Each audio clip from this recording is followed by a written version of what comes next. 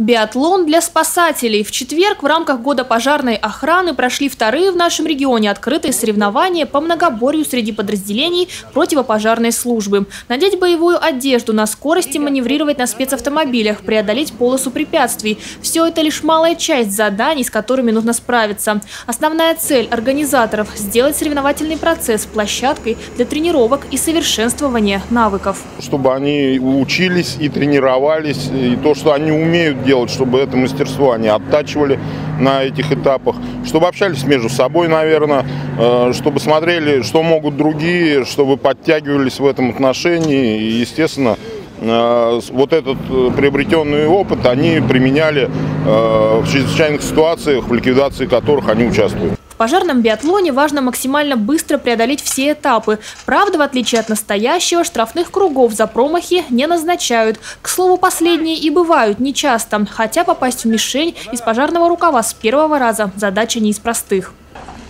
Поехали!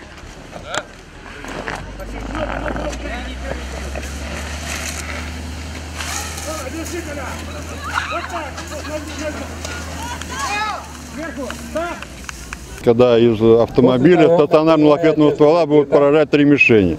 Потому что расстояние большое до этих мишеней, да, то есть и тут и работа водителя, то есть нужно быстро подать в этот ответный ствол. И пожарному надо прицелиться, попасть, это сбить мишень. Команда специализированной пожарно-спасательной части к финишу пришла с результатом в 16 минут. Выступали третьими. От финального времени первых двух команд отставание на несколько минут. Но участники не расстраиваются, ведь главное здесь не победа, а возможность попробовать свои силы и научиться чему-то новому. Тем более, что выложились по максимуму. Наш расчет выступает первый раз в этом году.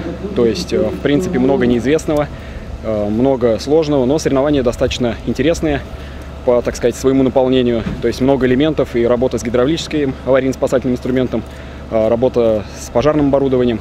То есть, ну, в целом, как бы э, выступили для первого раза достойно. В соревнованиях приняли участие 10 подразделений. В нелегкой борьбе победу одержали пожарные из Пучежа, а чемпионы прошлого года, лежневские спасатели, заняли почетное второе место.